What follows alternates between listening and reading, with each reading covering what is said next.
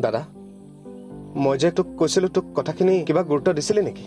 মই যে কি কৰিম একো ভাবিয়ে পোৱা নাই। তই কথাটো কলি মই শুনিলো।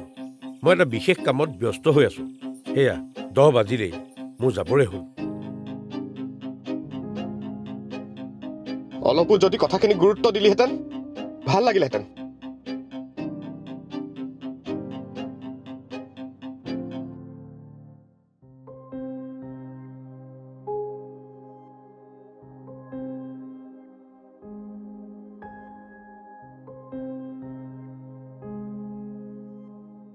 কি হলো দেবু? একো হোৱা নাই। কিমাননো আৰু একেকেইটা কথাকে কৈ থাকিম। পঢ়া শুনা কৰিলো। চাকৰিৰ কাৰণে কিমান ইণ্টাৰভিউ দিছো তুমি নিজেই দেখিছা। আমনি লাগিছে আৰু এনেকে। কিমান আৰু ঘৰখনত এনেকৈ বহি বহি কটাম। হ'ব হ'ব। ৰ'বাচোন। ইমান চিন্তা কৰি থাকিব নালাগে নহয়। যেতিয়া যি হ'ব লগা আছে কিবা এটাতো হ'বই।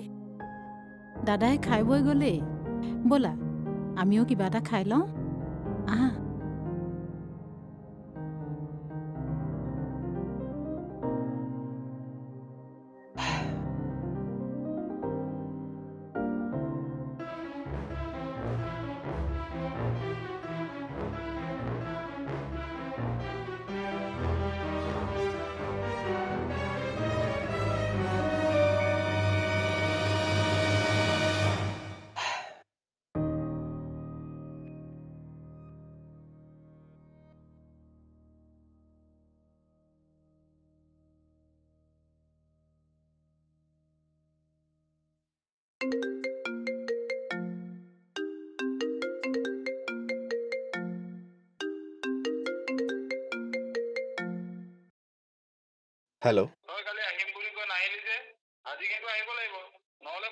উঠিব।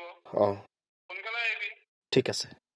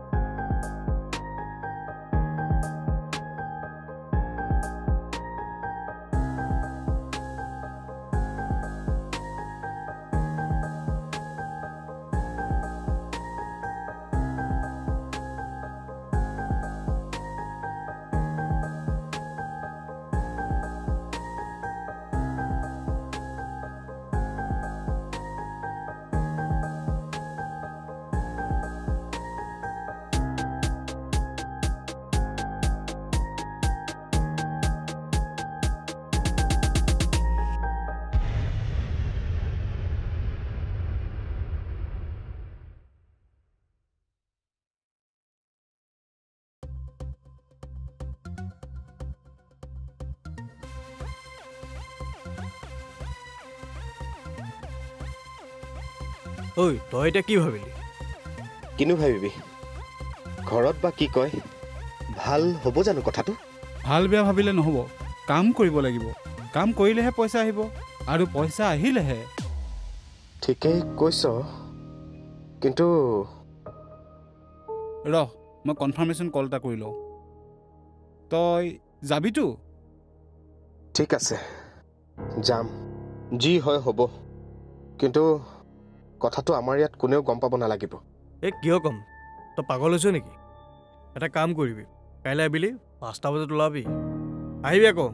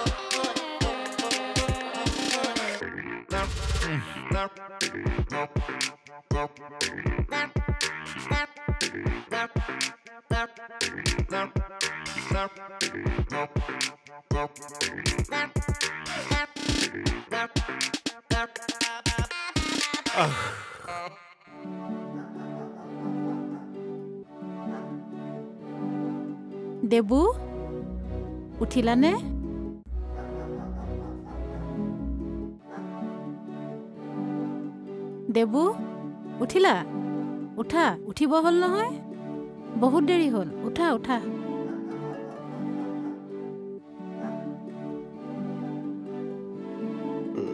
উঠা তোমাৰ বেটটি লোৱা।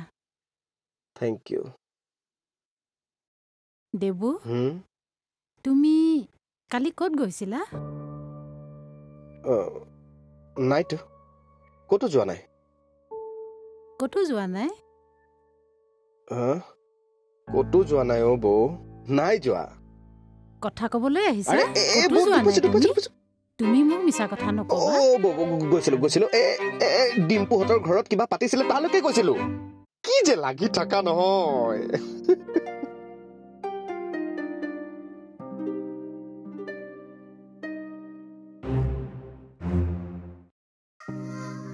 তই যে আজি এনেকৈ বাহিৰলৈ মাতি আনিলি?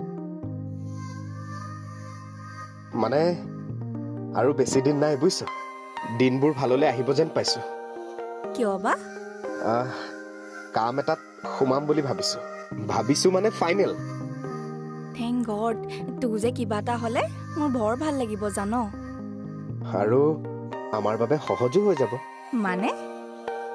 কি মানে আকৌ? আমাৰ দুটাৰ ভাল পোৱাৰ কথাটো বৌয়ে ঘৰত জানে। আৰু এইবাৰ যদি কিবা এটা হয় বৌয়ে যে দাদাক কব সেইটো খাটাং। তাৰ পাছত তাৰ পাছত কি হা? তাৰ পাছত বিয়া।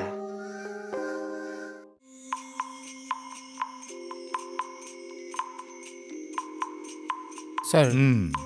ৰাজু ৰবীন ছাৰ। কি হ'ল? তহঁতৰ নতুন ল'ৰাটোৰ যে একো খবৰ নাই তাৰমানে তহঁতি মিছা মাতিলি। আমি মিছা নাই মতা ছাৰ। আমাৰ অভিধানত মিছা শব্দটোৱেই নাই। ছাৰ আপুনি কোৱা মতেই কাম কৰি আছোঁ। ই আহি বাহিৰতে ৰখি আছে। আপুনি যদি কয় তাক মাতি দিওঁ। ঠিক আছে মাত। ঠিক আছে ছাৰ।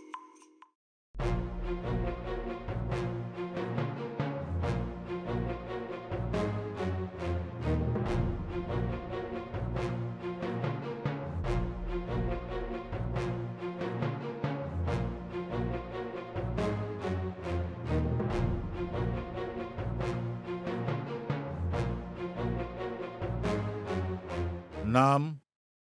দেবু। কাম? একো নাই। এতিয়াৰ পৰা কৰিব লাগিব। কৰিম। কৰিম নহয়। ৰাজু? অ ইয়াক কামটো বুজাই দে। আইৰা মই নিজে বুজাই দিম। বহ। এই তাত নহয় ইয়াত বহ। মাটিত। বহ। কাম মানে সময়ৰ কাম মোৰ সময়ত লাগিব। মই সময়ৰ খেলি মেলিটো একেবাৰে সহ্য কৰিব নোৱাৰোঁ। বুজি পাইছ? বাকীখিনি কথা ৰাজু আছে লাহে লাহে চব তই বুজি যাবি। কিন্তু সময়ৰ খেলি মেলি তই একেবাৰে নকৰিবি। সময়ৰ খেলি মেলি মই বৰ বেয়া পাওঁ। আহি যাবি।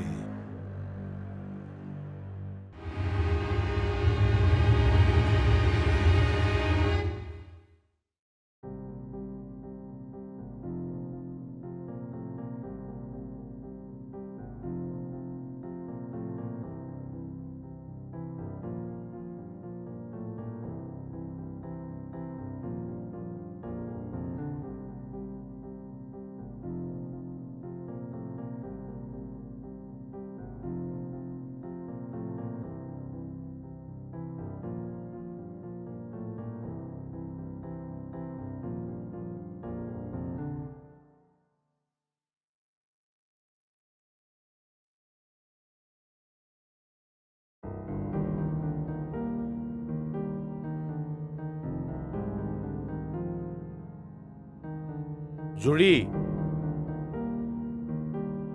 জুৰি। জুৰি। অঁ কি হ'ল? কোৱাচোন। ক'বলৈ লাজ লগা আৰু পাতিবলৈ বেয়া লগা কথা কিছুমান তোমাৰ আগত ক'ব লাগিব বুলি মই ভবা নাছিলো। মানে? মানে তুমি কি ক'ব খুজিছা? চি মোৰ নিজৰে লাজ লাগিছে। তোমাৰ দৰে চঞ্চল এজনী পত্নী হিচাপে পোৱাটো। চি যি নিজৰ দেওৰকৰ লগত স্বামীৰ দৰে। চি নাজানো আৰু দেৱৰ লগত তোমাৰ কি ধৰণৰ সম্পৰ্ক আছে। কি হ'ল? একো নামাতা কিয়? দোষ থাকিলে মাতিবা ক'ৰ পৰা? ক'বা কি বুলি?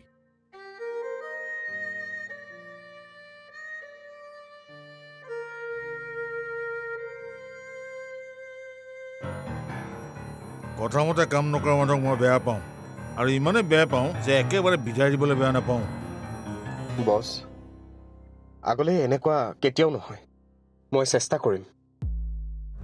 তোৰ সদায় লেট। ঘৰৰ পৰা গুচি আহ। তই ঘৰৰ পৰা অহাৰ বাবেই সময়ৰ কাম সময়ত কৰিব নোৱাৰ। বাদ দে ঘৰ। একেবাৰে ইয়ালৈ গুচি আহ।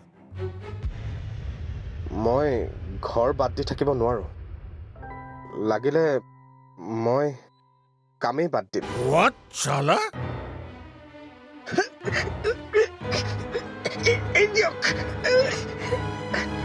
তোৰ কথা অলপ বেছি হোৱা নাইনে হা? নোৱাৰ যাব। কৰিব লাগিব কাম। আৰু যদি কিবা উল্টা পুল্টা কৰ মোতকে আৰু বেয়া কোনো নহ'ব। যা আজি ঘৰলৈ। কিন্তু কাইলৈৰ পৰা তোৰ নতুন ঠিকনা হ'ব এই হিৰণ্যৰ লগত। যা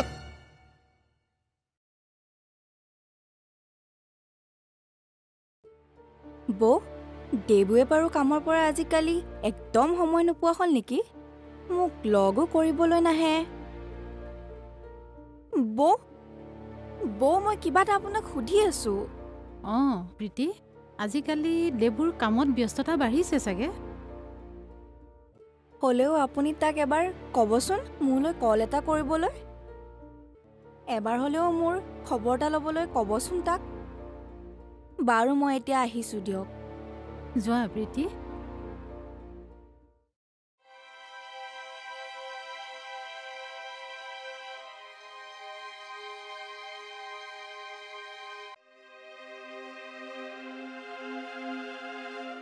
কি হ'ল দেবু? কি চিন্তা কৰি আছা? একো নাই। তুমি একো নাই বুলি ক'লেই নহ'ব নহয়? তোমাৰ কিবা এটা নিশ্চয় হৈছে। কি হৈছে কোৱাচোন তুমি মোক?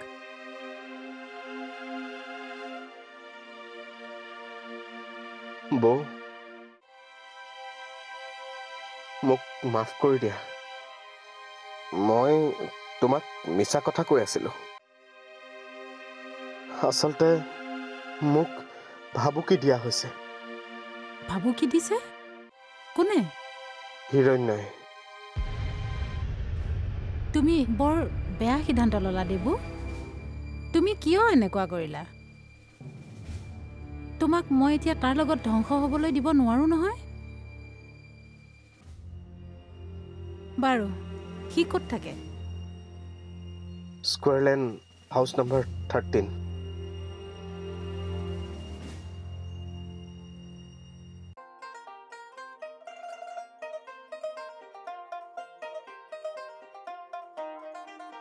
sir sir sir হা?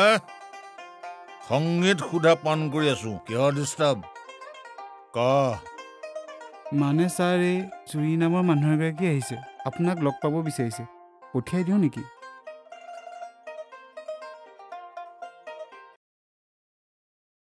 মাতি দে।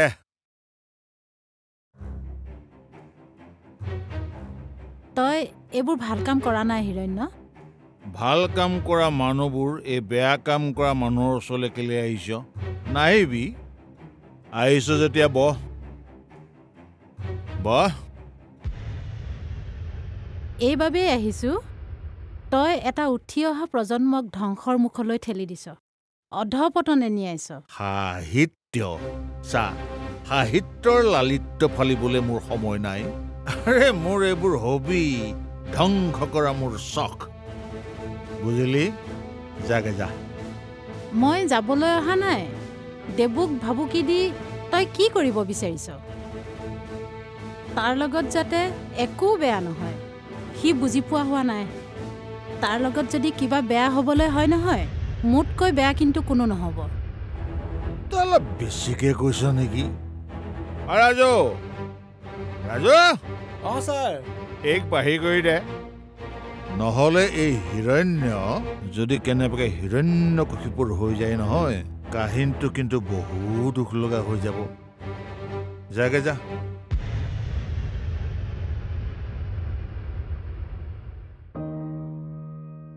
তই ইমান নিচ নে? তোৰ দয়া মমতা নাই? তই নিজৰ ভনীজনী বুলিও ভাবিব নোৱাৰনে? এবাৰ ভাবি চাব নোৱাৰনে তই? তোৰ নিজৰ ভনীজনীয়ে তোক কিবা এটা কৈছে। কিবা এটা ৰিকুৱেষ্ট কৰিছে?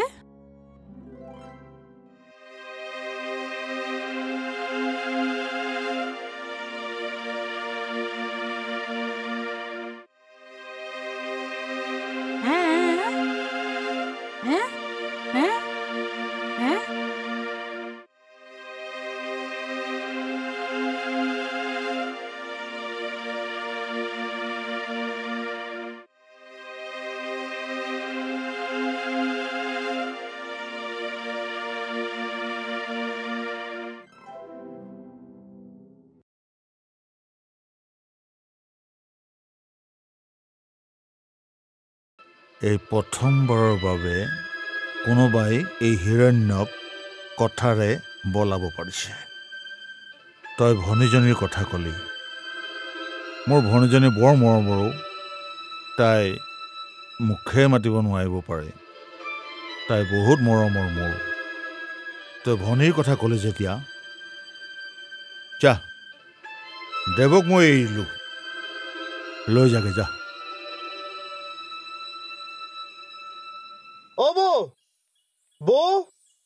বৌ? অ দেবু। অ বৌ আজি মনটো বিৰাট ভাল।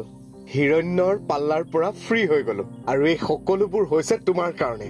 তোমাক বহুত বহুত থেংক ইউ ধন্যবাদ ধন্যবাদ ধন্যবাদ। ৰবা মই অকণমান আগৰ পৰা আহোঁ।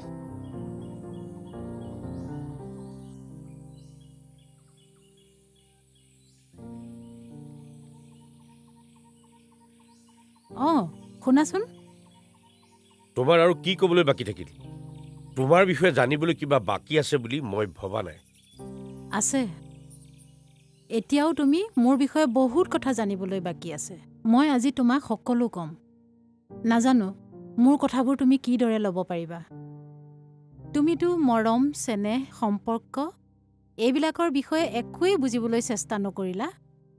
যাৰ বাবে তুমি বৌয়েক দেউৰেকৰ এটা ইমান সুন্দৰ সম্পৰ্কক তুমি যে ইমান বেয়া দৃষ্টিৰে চাব পাৰিবা মই কেতিয়াও ভবাই নাছিলোঁ। মই তাক নিজৰ মাকৰ নিচিনাকে মৰম কৰিছিলোঁ। নিজৰ সন্তানক সৎপথলৈ আনিবলৈ এগৰাকী মাতৃৰ যি দায়িত্ব দেৱৰ ক্ষেত্ৰতো মই সেই দায়িত্বই পালন কৰিছিলোঁ। এৰাও জুৰি। মোৰ বহুত ভুল হৈ গ'ল। তোমাক আৰু দেবুক মই ভুল বুজিলোঁ। যদি পাৰা এইবোৰ পাহৰি যোৱা।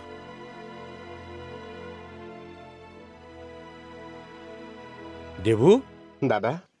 তোমাৰ নিজৰ ভায়েৰাৰ প্ৰতি দায়িত্ব আছে এতিয়া। এতিয়া তুমি তোমাৰ ভায়েৰাৰ দায়িত্ব পালন কৰা। তাৰ কাৰণে তুমি কিবা এটা কৰিব নোৱাৰা জানো? তাকেই ক'বলৈতো আহিছোঁ। অহা মাহত ই নতুন চাকৰিত জইন কৰিব লাগিব। মই সকলো ঠিক কৰি থৈ আহিছোঁ। তেতিয়াহ'লে তাৰ পিছৰ মাহত প্ৰীতিৰ লগত আমাৰ দেৱৰ বিয়াখন পাতি দিব লাগিব।